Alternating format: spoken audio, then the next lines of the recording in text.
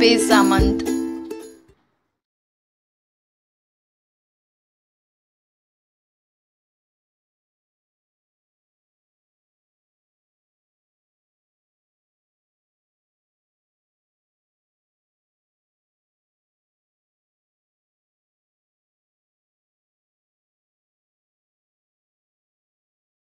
ये बैग बनाने के लिए मैंने ये ब्लाउज़ पीस लिया है। ये नेट का है, उसके ऊपर डिज़ाइन की है। इसके अंदर मैंने लाइनिंग का पीस डाला है, उसके बाद में एक रबर शीट और फिर से एक लाइनिंग लिया है। ये दस इंच बाय बारह इंच का, ये एक पीस हमें लेना है। और फिर हमें दस इंच बाय साढ़े बारह इंच का एक पीस ये इस तरह का ब्लाउज़ पीस है नेट का। इसके लिए मैंने इसके अंदर ये लाइनिंग यूज़ किया है। और फिर मैंने रबर शीट लगाई है। और फिर इसके बाद में ये लाइनिंग का पीस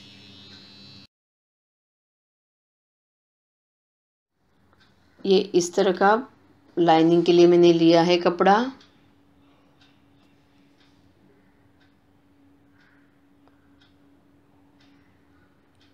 दस इंच बाय बारह इंच के दो लाइनिंग के पीसेस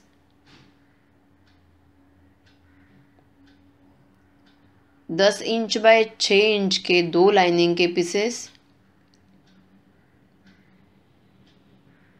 दस इंच के दो जीपर्स और ये डेढ़ इंच का एक वेलक्रो पीस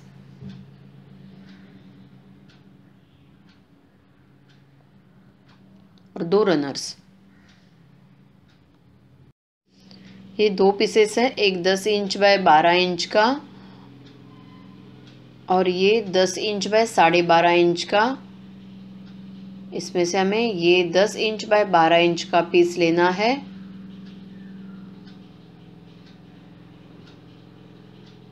यहाँ दस इंच है और ये साइड में बारह इंच है।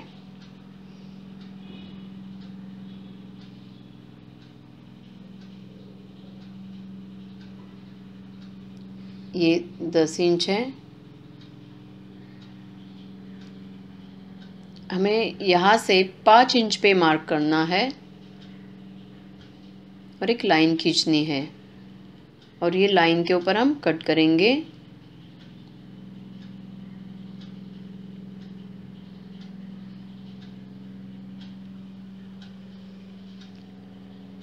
ये मैंने ये इस तरह की डिज़ाइन के ऊपर सिलाई की है।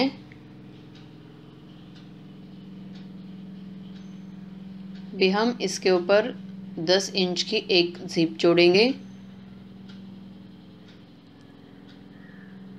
ये जिप की सीधी साइड है।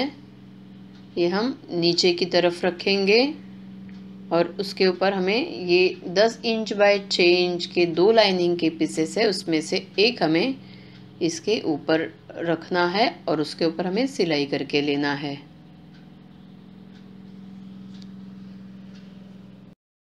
ये सिलाई होने के बाद हम ये लाइनिंग अंदर की तरफ़ करके उसके ऊपर हम प्रेस्टीज करके लेंगे। इस तरह से प्रेस्टीज होने के बाद हमें ये कट किया हुआ ऊपर का पार्ट इस तरह से हमें रखना है और उसके बैक साइड में हमें ये छः इंच, दस इंच बाय छः इंच का दूसरा लाइनिंग का पीस जिप के ऊपर रख के उसके ऊपर हमें सिलाई करके लेना है। ये इस तरह से सिलाई होने के बाद हमें ये ऊपर का पार्ट ऊपर की तरफ़ ही रखना है और ये लाइनिंग नीचे की तरफ़ रखना है। इस तरह से और ये जो सिलाई है, ये सिलाई हम ऊपर की तरफ़ करके उसके ऊपर हम प्रेस्टीज करके लेंगे।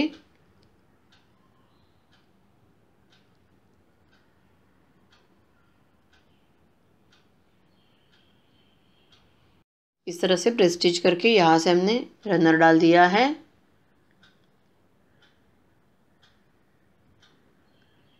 अभी हमें ये ऊपर की साइड से ढाई इंच पे मार्क करना है टू पॉइंट फाइव इंच पे।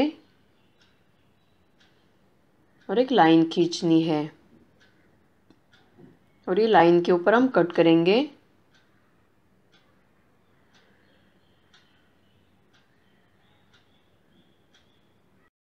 ये कटिंग होने के बाद हमें ये दस इंच की दूसरी जिप हम यहाँ पर रख के उसके ऊपर हमें ये दस इंच बाय बारह इंच का ये लाइनिंग का पीस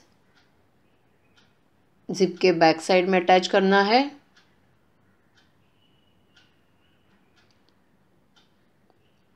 ये सीधी साइड हम नीचे रखेंगे और उसके ऊपर हम लाइनिंग का पीस रखेंगे और सिलाई करेंगे।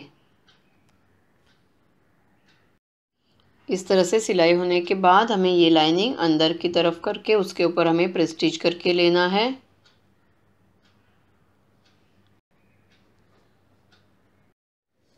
ये प्रेस्टीज होने के बाद हम ये ऊपर का कट किया हुआ पार्ट इस तरह से रखेंगे। और उसके बैक साइड में ये दस इंच बाय बारह इंच का दूसरा लाइनिंग का पीस है, ये हम इसके बैक साइड में रखेंगे। और उसके ऊपर सिलाई करके लेंगे। इस तरह से सिलाई होने के बाद हमें ये लाइनिंग का पीस नीचे की तरफ़ ही रखेंगे और सिर्फ़ हमें ये जो पार्ट है, ये हमें ऊपर की तरफ़ करना है और ये सिलाई ऐसे ऊपर करके उसके ऊपर हमें प्रेस्टिच करके लेना है।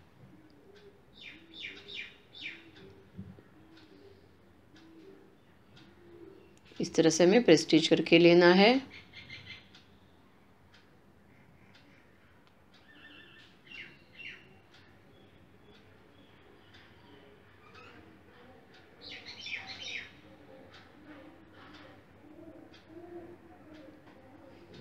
यहाँ से हम रनर डालेंगे। इस तरह से रनर डालने के बाद हमें ये जो एक्स्ट्रा लाइनिंग है वो हमें कट करके लेना है।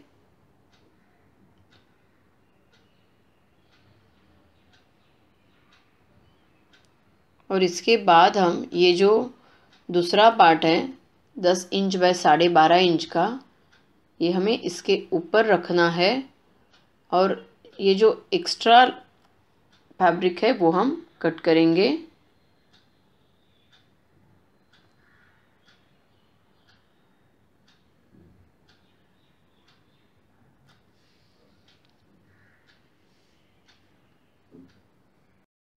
इस तरह से हमें दोनों पार्ट एक जैसे करके लेना है।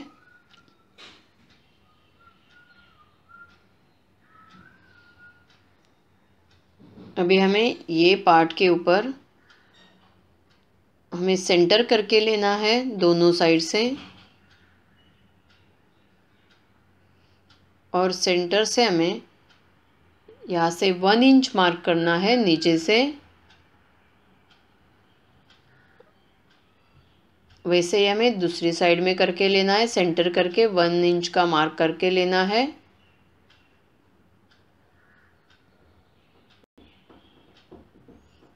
और ये मार्किंग के ऊपर हमें ये जो वेलक्रो पीस है, ये हम यहाँ पर जोड़ेंगे। वन इंच का जो मार्क है, उसके सेंटर में हमें ये पार्ट जोड़ना है। और ये नीचे की तरफ़ हमें ये जो लाइनिंग का पीस है, ये हम ऊपर करेंगे और सिर्फ़ हमें ये फैब्रिक के ऊपर ही ये वेलक्रो की दूसरी साइड अटैच करके लेना है।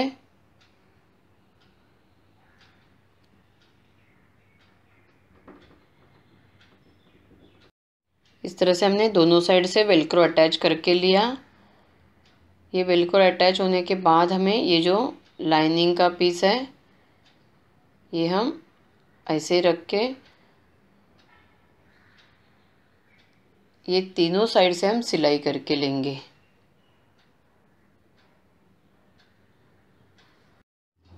इस तरह से ये लाइनिंग अटैच हो गया। अभी हमें ये जो पार्ट है, ये हम इसके ऊपर इस तरह से रखेंगे। और उसके ऊपर हमें पिन से अटैच करके लेना है। इस तरह से चारों साइड से पिन से अटैच करने के बाद हमें ऐसे हमें राउंड शेप देना है, चारों कॉर्नर्स के ऊपर।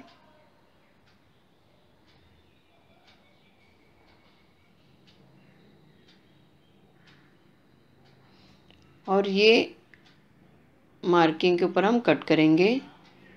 चारों साइड से। इस तरह से हमें चारों कॉर्नर्स कट करके लेना है और इसके ऊपर हम सिलाई करके लेंगे। इतना स्पेस हमें छोड़ना है। ये इस तरह से हमें सिलाई करके इतना स्पेस हमें छोड़ना है और ये चारों राउंड के ऊपर हमें स्मॉल कट करके लेना है। इस तरह से।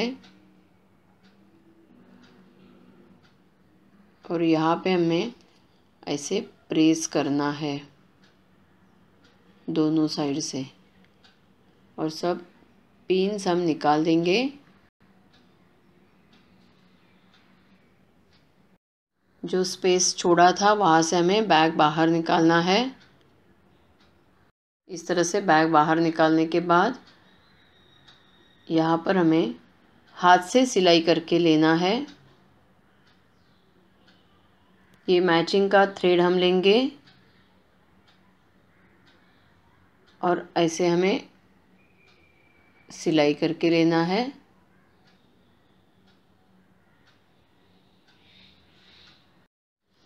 इस तरह से हमें हाथ से सिलाई करना है।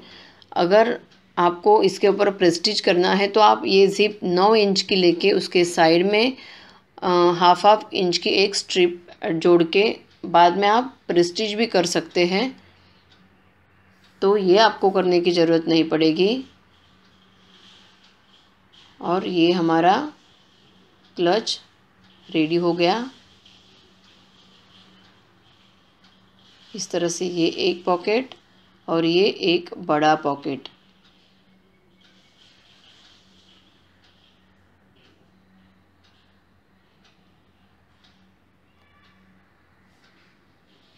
आपको ये वीडियो ज़रूर पसंद आया होगा तो प्लीज़ हमारे चैनल को सब्सक्राइब कीजिए लाइक कीजिए शेयर कीजिए और कमेंट करना ना भूलें। हमारे नए नए वीडियोस के अपडेट्स के लिए बेल आइकन ज़रूर प्रेस कीजिए। Thank you for watching